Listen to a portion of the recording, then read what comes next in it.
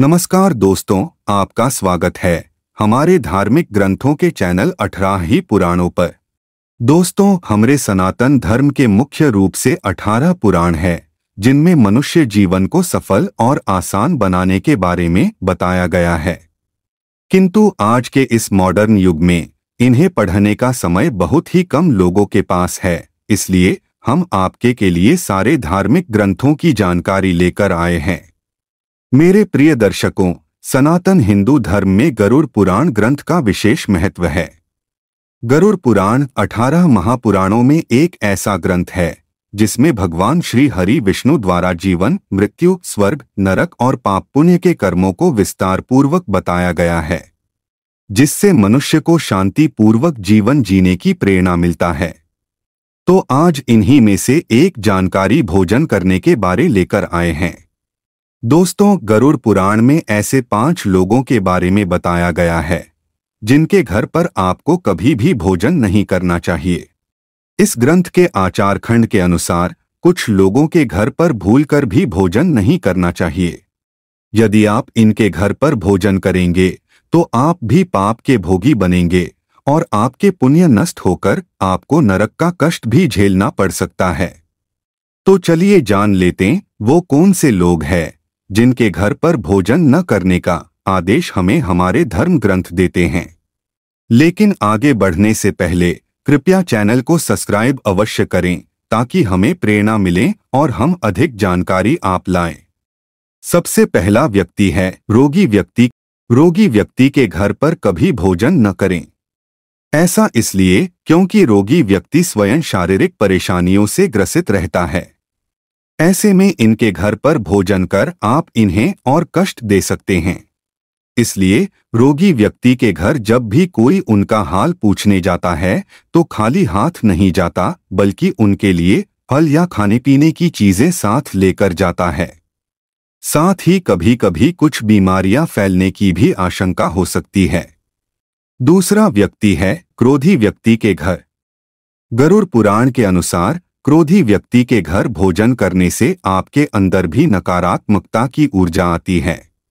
ऐसा व्यक्ति जो बात बात पर क्रोधित होता हो और दूसरों का अनादर करता हो, उनके घर पर कभी भी भोजन नहीं करना चाहिए। इनके घर के भोजन में क्रोध से भरी ऊर्जा हमेशा संचार करती है। कभी गलती से इनके साथ भोजन न करें। तीसरा है साहूकार। गरुड़ पुराण की माने तो साहूकार या सूदखोर व्यक्ति के घर भोजन नहीं करना चाहिए। इसके पीछे का कारण यह है कि ये लोग दूसरों की मजबूरी या परेशानी का फ़ायदा उठाते हैं और उनके कठिन परिस्थिति को धन कमाने का साधन बनाते हैं। असहाय और जरूरतमंद लोगों को साहूकार से मदद तो मिल जाती है। लेकिन इसके बदले उन्हें मोटा ब्याज भी चुकाना पड़ता है। ये साहूकार लोग बहुत ही निर्दयी होते हैं और अपने केवल अपने स्वार्थ के बारे में ही सोचते हैं। लोग दुखी मन और कठिन मेहनत के बाद ही साहूकार का पैसा चुका पाते हैं। इसलिए ऐसे लोगों के घर भोजन न करें, जिनके घर पर दूसरों की तकलीफ़ से कमाए धन से भोजन बनता हो। चौथा व्यक्ति है किन्नर। किन्नर को भोजन कराने या दान देना बहुत पुण्य होता है। हमेशा इनको दान देना चाहिए, जिससे आपको पुण्य भी मिलेगा, और माँ लक्ष्मी की कृपा भी आप पर बनी रहती है। लेकिन इनके घर कभी भोजन नहीं करना चाहिए।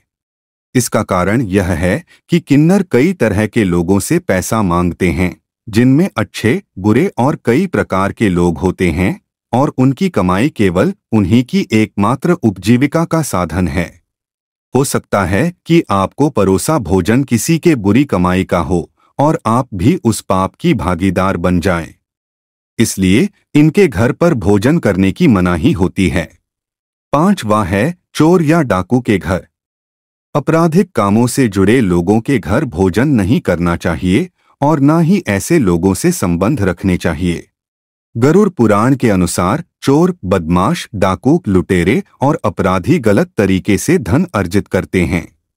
इसलिए इनके कमाए धन से भोजन नहीं करना चाहिए। अगर आप फिर भोजन करते हैं तो उनके सारे महापापों में बराबर के भागीदार बन जाते हैं, आपकी एक छोटी सी गलती आपके पुण्य कर्मों को नष्ट करती है।